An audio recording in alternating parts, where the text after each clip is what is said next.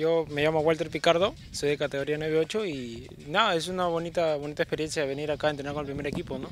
Incluso estamos con Carlos Gómez, eh, eh, eh, compañeros de, de, equipo, de alguna manera esa, esa responsabilidad de, de quizás algún momento poderse de, de, debutar en la primera división, ¿no?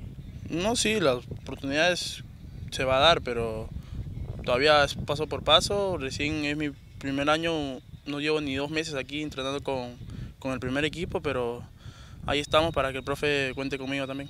¿Cómo toman esto? Eh, como un desafío, ¿no?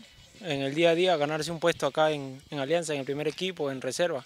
El profe siempre le, me, me, habla a mí bastante, a él también le va a hablar porque recién es su, su primer día entrenando con el primer equipo, pero ahí estamos para que, para que el profe cuente con nosotros dos. Lamentablemente lo, lo mejor, los dos arqueros de aquí del club se lesionaron y ahora está, solamente está Daniel, está aprovechando la oportunidad que le está dando y, y ahí estamos nosotros, nosotros dos para el profe también, para que cuente con nosotros. Vienen de una lesión ellos dos y, y nada, ahora si me toca tapar algún partido, lo haré de la mejor manera, pues, esperando la oportunidad ¿no? que, se me, que se me presente y aprovecharla. ¿no?